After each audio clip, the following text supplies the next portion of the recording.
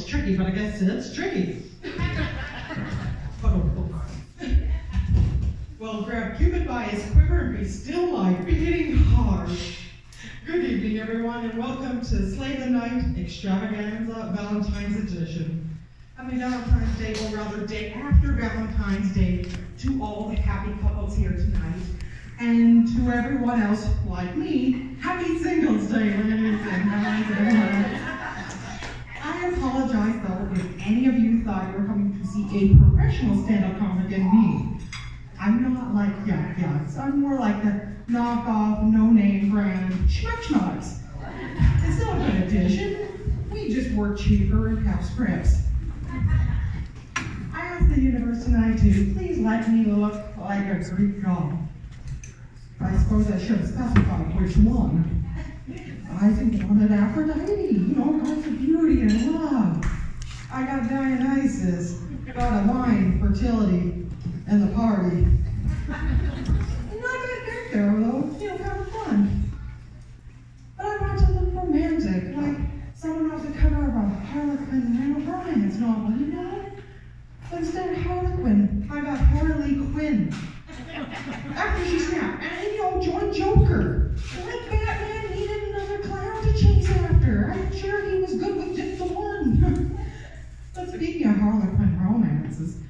I feel they contribute to my strong sense of the, you know, the romance and chivalry of day.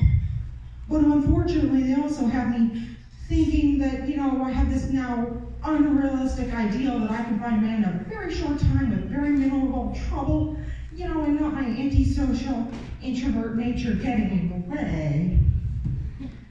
But you know what? Fifty Shades of Grey is no better. It's got me under that delusion that I'm going to find me a billionaire to sweep me off my feet and make my every kinky dream come true. Where my safe word is Australia all my desires down under. you ever want to take a vacation though? I want to take a vacation, but not for the sake of taking an actual vacation. I just want to go, you know, get the attention of some TSA officer, plant some random pieces of metal over my body and walk through a metal detector and boop, boop, pat me down. but don't judge me. You can't judge me. A girl's got to do what a girl's got to do. I mean, it's a great icebreaker, really. Gets me past all that, you know, idle chit chat and gets me straight to getting their number. But you know what? I think animals have the right idea when it comes to, you know, courtship rituals, pardon me. Rules. We probably have a few of those, but rituals. You know, keep it short, sweet, to the point. Dogs have the right idea, especially. One strategically placed sniff, and you know everything you want to know about that one. I think politicians do that a lot, because they always seem to have their noses buried in somebody's business, trying to find out all the nitty gritty. Am I all right? I think I'm right. But I like the strategy of some birds, though, personally. Clearly, about the feathers that I took from it, too. but, um, you know, they're going around collecting their bits of strings and things and shiny things, hoping it'll attract something or someone or whatever to mate with. And personally, for the record, I like the shiny things. Then you get those kind of birds, though, that gather the colorful feathers. And when they show off their feathers, they got all these different colors, and they're hoping it'll attract someone that they can go, can I got blue, want to smash? But, I mean, if humans did that, it'd be really weird. It'd be like, I got all the colors, maybe we gonna smash. That's like, do you really think that's gonna work?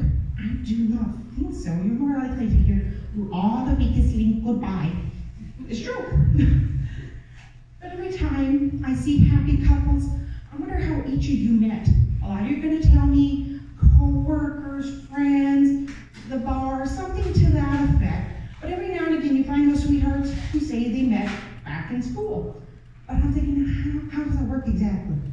I, I missed something in elementary school, clearly. I think it involved when you guys were all passing notes, I didn't yes or no. Nobody passed me one, I'm just saying. But there's an innocence in that, though. Kids can get away with that. You try passing a note at your workplace like that, and I promise you, your next office party is going to be, you know, like a, become a seminar on appropriate workplace behavior. So just watch. But you know, when I was younger, I got picked on a lot in school, and when I told my parents, they told me that a boy picks on you, that means he likes you. And I'm like, really?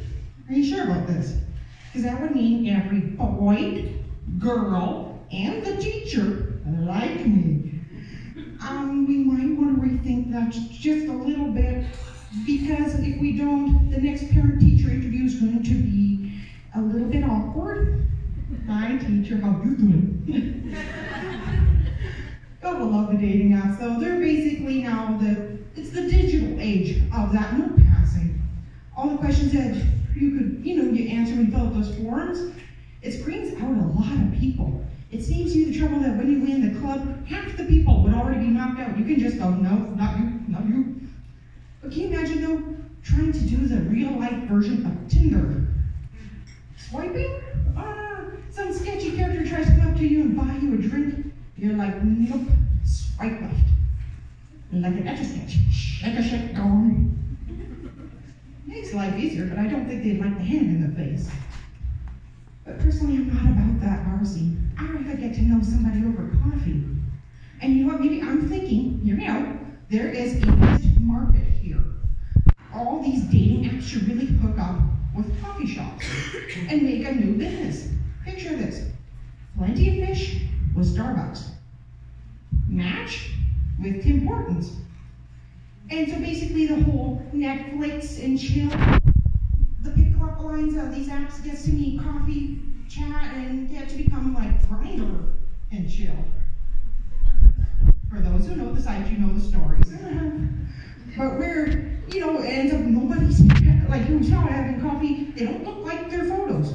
And those who didn't post their photos, they never showed up at all. It's an anonymous job of hookups. But maybe it's just me though, but I'm curious about what kinds of lines people use to seduce each other and how it may vary between provinces. You see, I'm from a small farm out in Saskatchewan here, and I'm like I could go up to someone and say, my haystack or yours.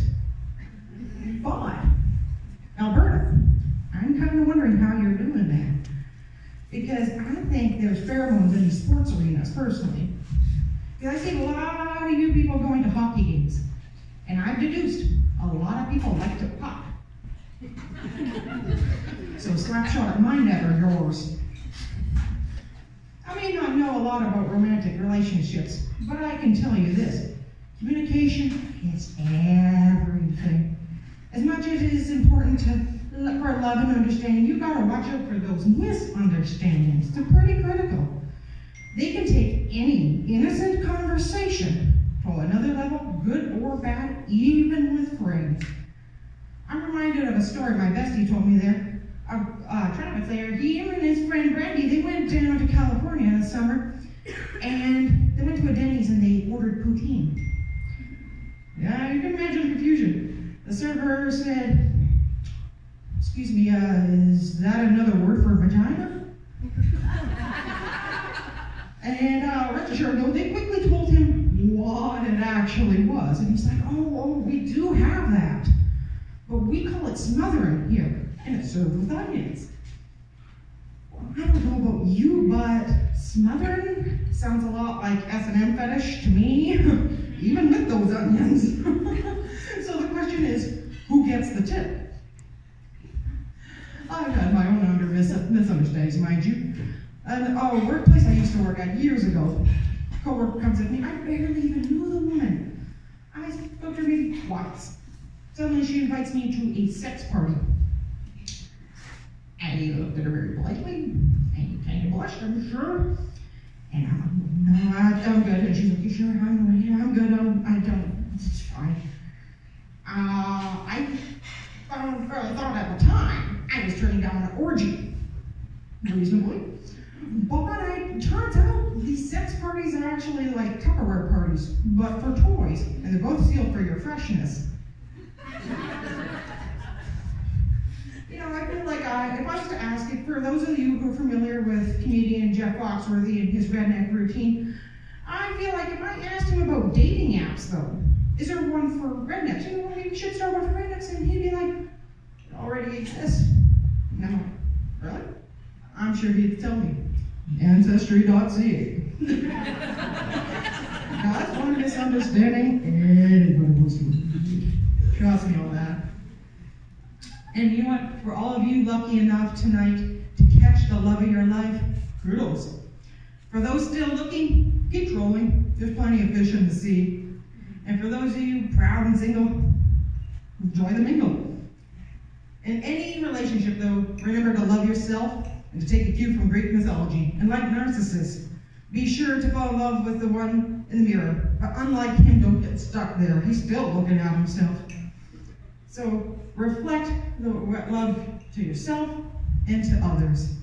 And remember, roses are red, violets are blue. Two drinks in, I'll be flirting with all of you. Have a good night.